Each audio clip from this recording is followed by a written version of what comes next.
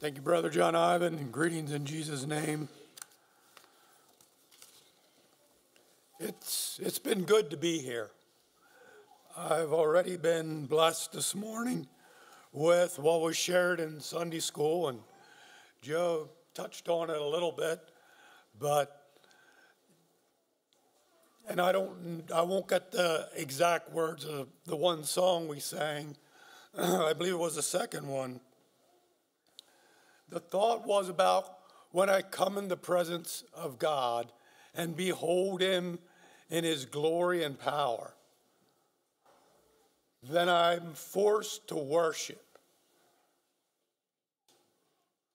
And I had to think as, as I was thinking along that line, and then Joe shared about what we talked about in Sunday school. It's very hard for us as human beings to grasp the enormity and the power of God.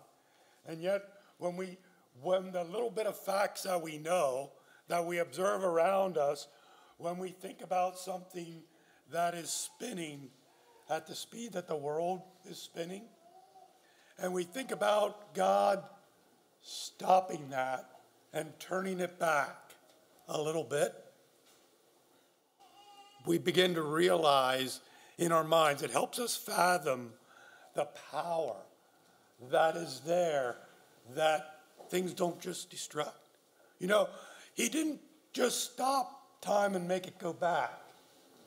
The Babylonians noted that he did that, but life went on as normal. Nothing destructed, things didn't fall apart, buildings didn't fall down, and all those things would be things that would happen in the real world if that happened. We know. But they didn't. Why? Because the God who made the rules that de- declares that that's what will happen, he's not subject to those rules. We hardly can fathom that, that God is not subject to those rules. He made them, He controls them, He holds, if you will, everything in the palm of His hand. Someone else alluded to the fact that he controls the heart of the king. The king's heart is in his hand, and it is. And we look and we say, but they're very evil men. God is still God. God moves through very evil men. We don't understand it. No, we don't. But He does. He has a plan and He has a purpose. And when we recognize that, when I recognize that, then I can truly rest simply in his palm because it's safe. It's absolutely safe place to be. Right in his hand.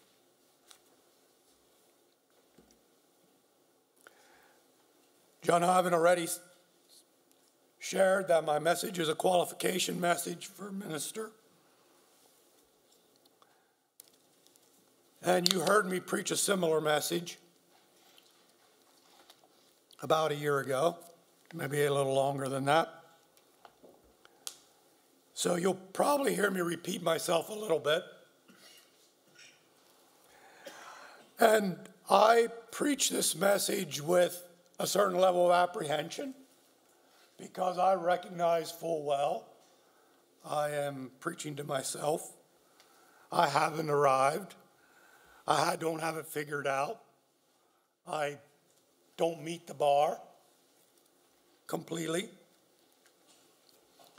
But by the grace of God and the power of the Holy Spirit, I desire to live and practice these attributes that God is looking for. Not to my credit, but to his glory and to the benefit of the church. Another thing that was raised in Sunday school that resonates with me, and that is this morning we're going to look at qualifications and we're going to look at giftings. And there is no way that I, of my own ability, or anyone else, can meet either of those bars. There's nothing that I have, including my ability to stand in front of you this morning, that wasn't given by God. It's not mine. It's mine to exercise to God's glory, but it's not mine to claim. And I believe in our Sunday school lesson, that might be something Hezekiah didn't truly realize. It wasn't about Hezekiah, it was about God. And to this day, it's not about me, it's not about us, it's not about you, it's about God. And everything that we have, we were given for God's glory and for the benefit of the body. If you look at Acts chapter 6, which is where my text is,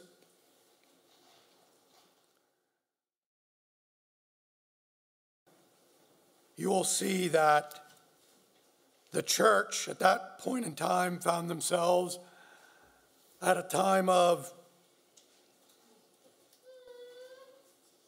conflict, maybe, certainly a time of uncertainty, murmuring, um, not a time of being united and blessed. And yet, out of that came something very good. Acts chapter 6 In those days, when the number of the disciples was multiplied, there arose a murmuring of the Grecians against the Hebrews because their widows were neglected in the daily ministration.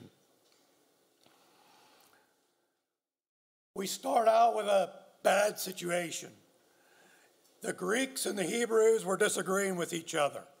Somebody was being favored over somebody else. You know, human nature didn't change too much. Frank and I have had a couple conversations in the last 12 hours, and I didn't count the number of times we said this, but it was a few times we said, you know, human nature just hasn't changed all that much. It's still the same as it always was and it was about various things we were talking about, not necessarily even about church. But that was the situation they found themselves. Human nature didn't change, there was favoritism. And so they came to the leaders and made their complaint. And the disciples came up with a plan. And the twelve called the multitude of the disciples unto them and said, said it is not reason that we should leave the word of God and serve tables. Wherefore, brethren, look ye out from among you seven men of honest report, full of the Holy Ghost and wisdom, whom we may appoint over this business. In the early part of my message, I'm going to skip over the gifts of preaching and teaching, not because they're not important we're going to come back to them. But because I want to focus on looking at the qualifications that were needed here for the men they were supposed to seek out.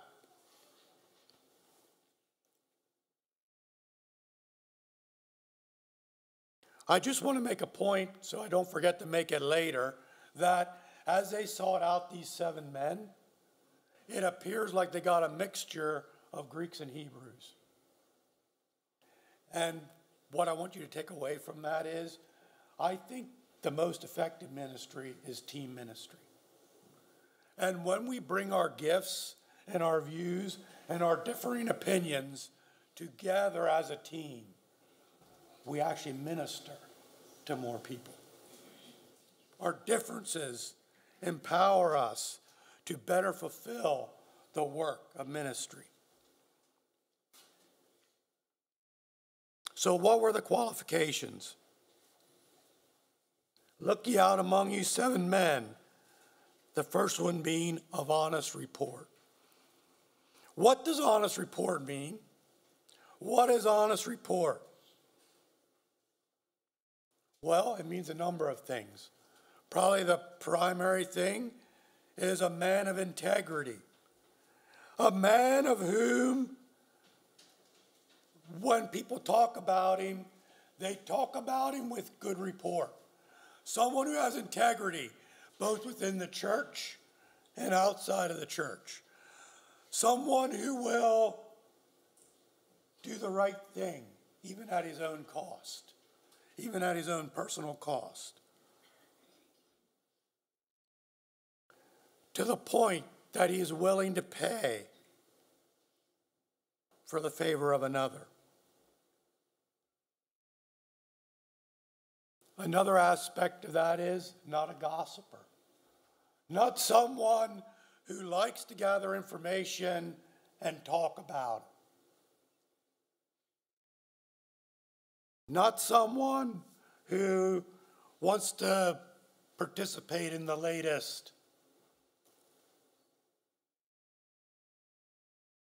gossip, maybe, but also scheme, uh, conspiracy theory, you name it. That, not someone who is unbalanced,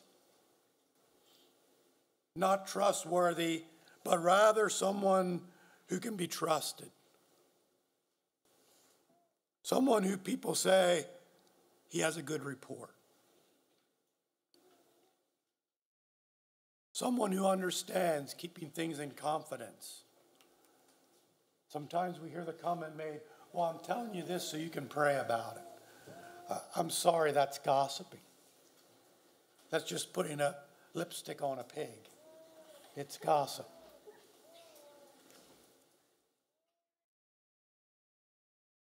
And in this particular point, I want to say this that applies to his wife as well. The wife needs to be a woman of good report, not a gossiper, not someone who likes to talk. And I don't mean likes to talk in a way, there's appropriate time to talk and share and hear and communicate. But that keep it in, in confidence and have integrity. There's another aspect of this that's often hidden because in the church, you see me on a Sunday morning. You know me in my Sunday good behavior when I'm here. You know, Jenna wakes up with me every morning and she sees me when I'm not so pretty and when I'm a little bent out of shape and when I'm not in good humor.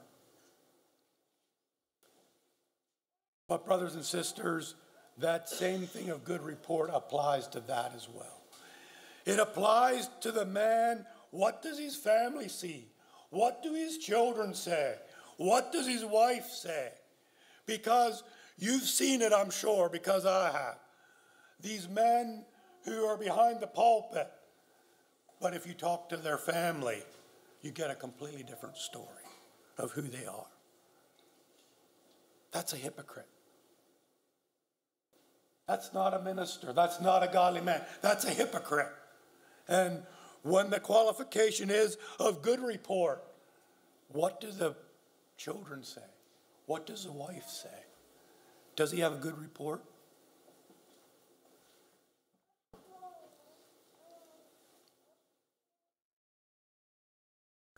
I'm going to pull in a, one verse from Titus here because it ties into this as well. And that is this Titus, first Sorry, not Titus, I'm using Timothy. 1 Timothy chapter 3 verse 2. A bishop then must be blameless, the husband of one wife. The word that's translated bishop there could be translated minister. It's really a servant, a spiritual servant. But the point I want to take away from there, this thing of good report, the husband of one wife, that doesn't mean he needs to be married. That's not what it means. What it really means that whether he's married or unmarried, that he knows how to conduct himself with women. He's a one woman man. He's loyal. He's safe. A man who trusts, who demonstrates loyalty and trustworthiness and propriety and caution in his interaction with women and girls. That's what it really means. That's what the qualification is. Did you ever think about this? This is really telling. But did you ever think about Jesus and how he interacted with women? In Jesus' time, men didn't interact with women. And yet Jesus did. It was very unusual. But women saw Jesus as safe. And we miss this because it's not our culture. But when those women came and washed his feet with their tears and dried them with their, their hair, there's sexual connotation in that in that time. There is. I just want you to understand that. That's why this disciple said, if he would know what woman is touching him, he did. He did know what woman was touching him. But the women knew who they were touching. That's the important part. The women knew who they were touching. He was safe.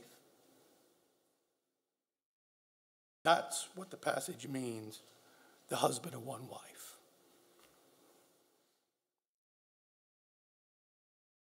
The next qualification is full of the Holy Ghost. A man who has had a life changing walk with the Lord. One who's born again, filled with the Holy Spirit. One whose walk with the Lord gives example in his daily life, in word and in deed. One who faced, when faced with difficult situations, goes to God and the power of the Holy Spirit.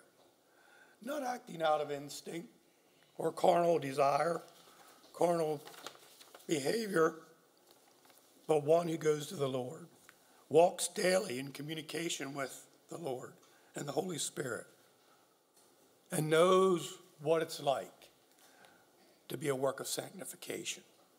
And that's an ongoing work, it's not a completed work, but knows what that is for the Holy Spirit to be working on sanctification.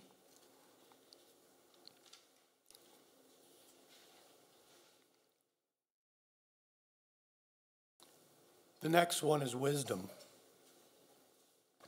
What's wisdom?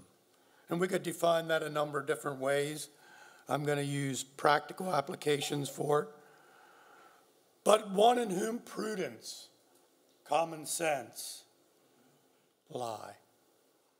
Spiritual piety and uprightness alone are not sufficient to fill the office of a, a pastor or minister.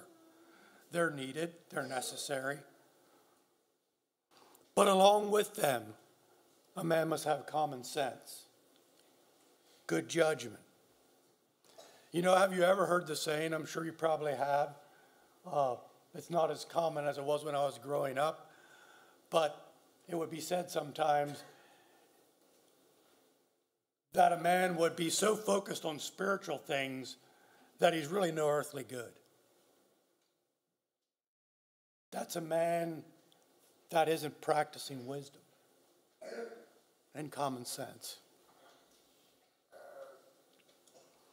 It's a man who has to balance frugality and liberalness with money and time, knowing when to be frugal and when to be liberal.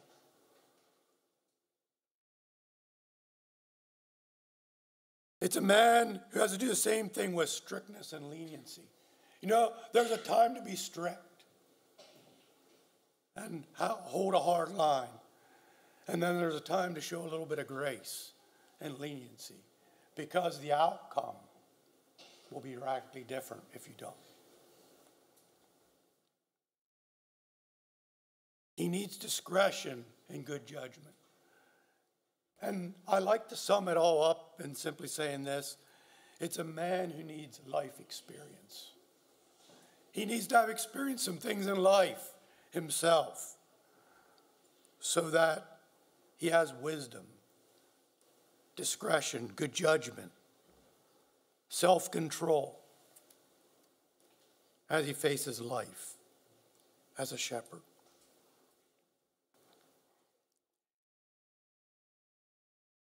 If I would have preached this message 20 years ago, I probably wouldn't have used these words I'm going to use next. He needs to be self aware. That's not what I'm talking about. But the next phrase is he needs emotional intelligence. And if you ask me, Jason, what is emotional intelligence? That's a fair question. Emotional intelligence is a more of a buzz thing in the last five years. So if you're younger, you probably know exactly what I'm talking about. But it's really critical in the life of a minister and pastor. It simply means this it means that he understands how he appears and is understood to those he interacts with. He needs to understand that even though, even though my motives may be correct, it may not be helpful to you in how you see it. I may have the best of motives. I may not be doing anything wrong, but it's not going to work out well.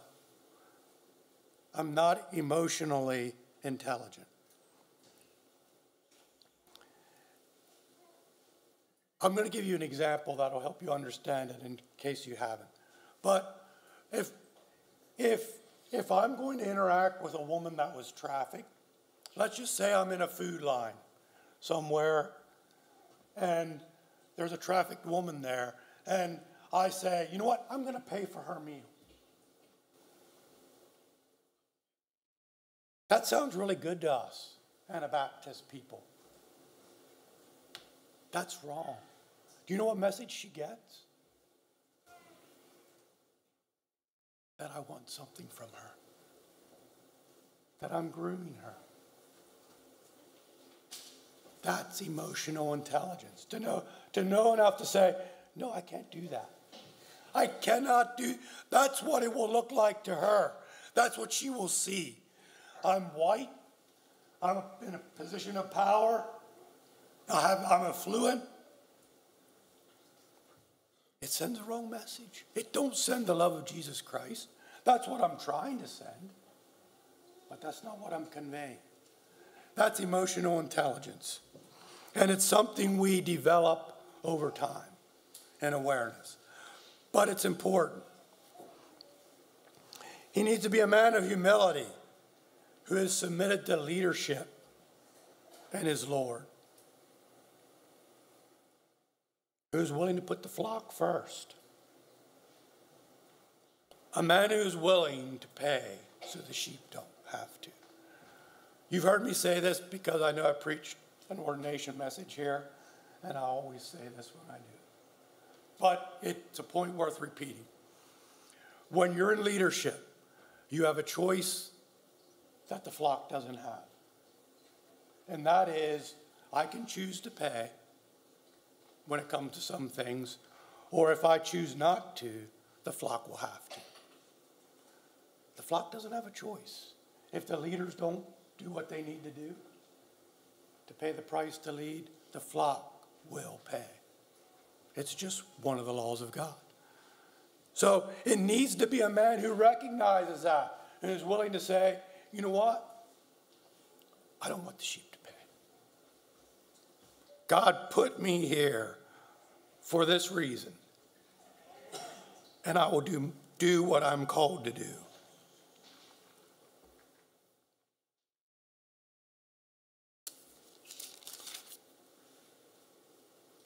And the same plea, I'm at verse 5 now, and the same pleased the whole multitude, and they chose Stephen, a man full of faith in the Holy Ghost. I'm going to stop there. The next one is a man of faith. He needs to be grounded in the Word and committed to believing and teaching it. One who's not shaken soon with new ideas. One who's not quick to buy into schemes and new ways of viewing things. One who's not always looking for a new understanding of how we could look at this particular passage. One who believes that the Word has given us the revelation that we need. There's not going to be some more revelation. And you might say, well, why are you even bringing that up?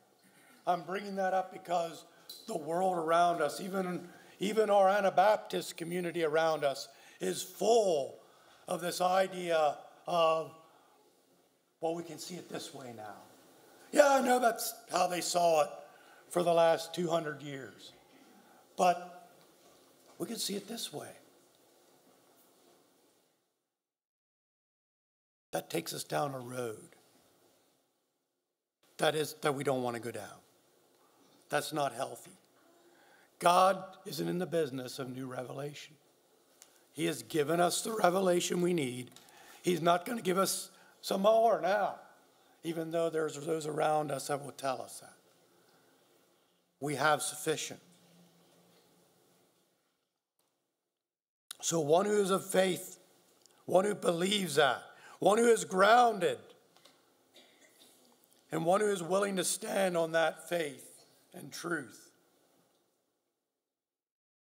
even when things are in turmoil and uncertainty. Even when things aren't completely clear, there's plenty of things that we don't absolutely know 100%. But we don't major in those things. We go to the things that we do know, that God has given us, and then we view those other things through that lens. A man of faith, a man who knows what he believes.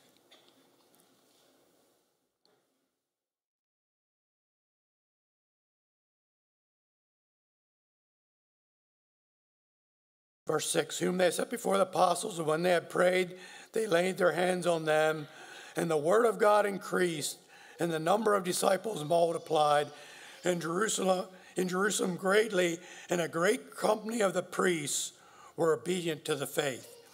Now I'm diverging from qualification. Part of my message. Look what happened when they got men who were qualified. Look what happened. They chose the seven men, and the church exploded. The church didn't just explode, the priests even saw what happened and were convinced. That's not an easy feat. By the way, it's a work of the Holy Spirit. But when people saw what happened, they saw God at work. That's what, that's what, that is the fruit of doing it God's way. Verse 8 And Stephen, full of faith and power, did great wonders and miracles among the people. I told you I would come back to the gifts of preaching and teaching.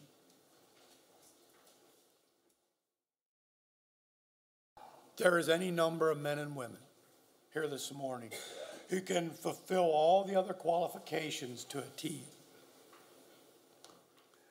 That wouldn't make that wouldn't make that brother a good minister if he didn't have the gifts of preaching and teaching. They are required.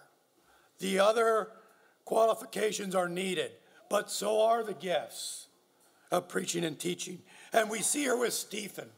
Stephen is a good example of he had all the other qualifications, but he could preach and he could teach. And people heard him, and the church grew.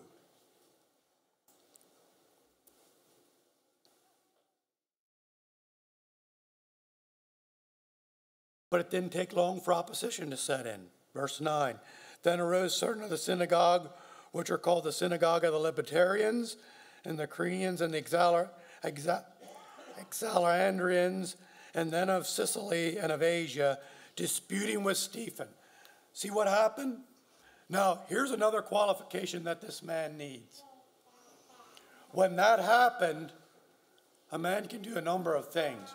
One, he can back down and he can stop doing that so that it don't cost him too much. Two, he can become combative and get into all kinds of fights and disagreements and arguments and combat.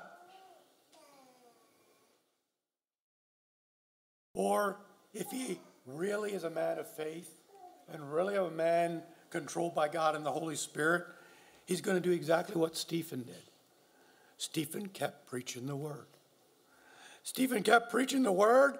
He kept saying what the Holy Spirit gave him to say, and he was not carried away by his success. He wasn't. It didn't change him. His success in ministry did not change him. It didn't pull him away from God because it, it wasn't about Stephen, it was about God. Stephen wasn't preaching Stephen's message, Stephen was preaching God's message.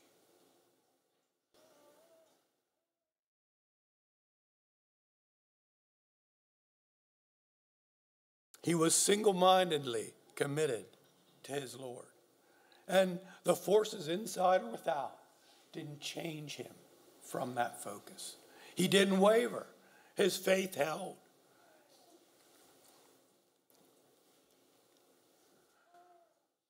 You know, it cost him his life. We know that. And I'm going to end with verse 15 as he was there before the council.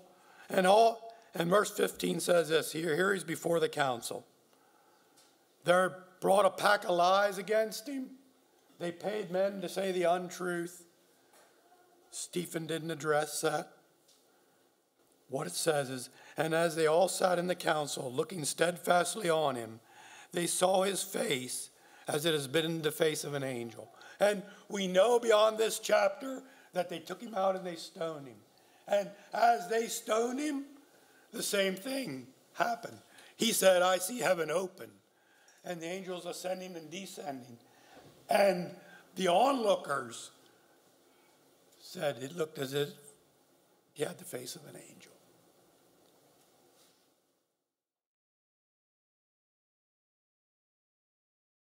That's a really nice story. We like Bible stories. But for Stephen, it was real life. And I'm going to leave you with this God is still looking for men and women like Stephen today. Yes, we aren't looking for women to fill the pulpit, and yet we are looking for women to, to walk beside the man that fills the pulpit, that does the work behind the scenes God is still looking for men and women like that today. He's still using men and women like that to build his church.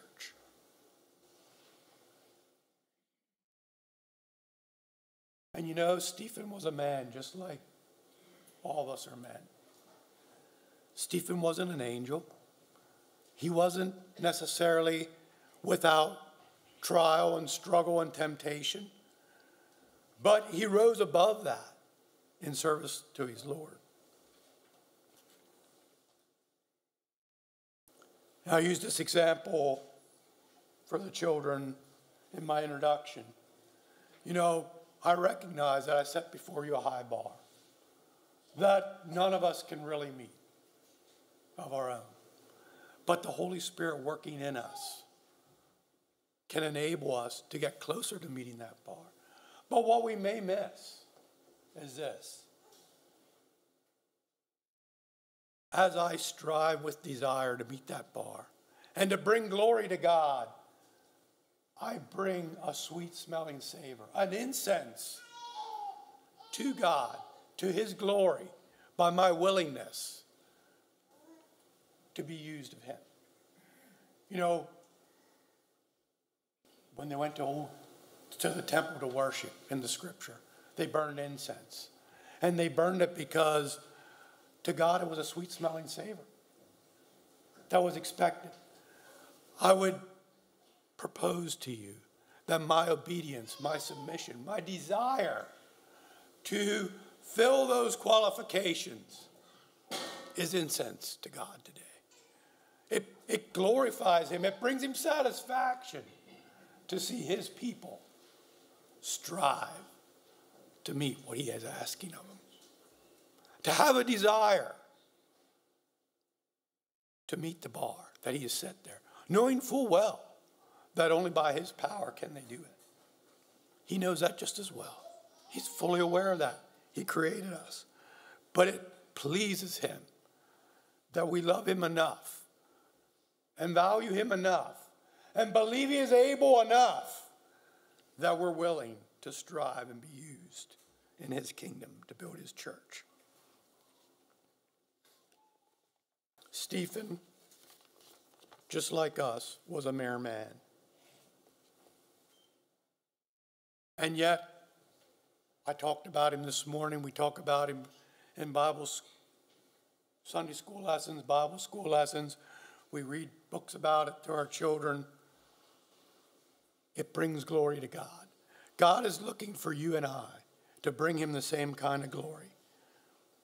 And if we're willing to submit to the Holy Spirit, and we're willing to walk in humility and allow God to mold us and shape us, then we can take on these attributes and we can grow in them.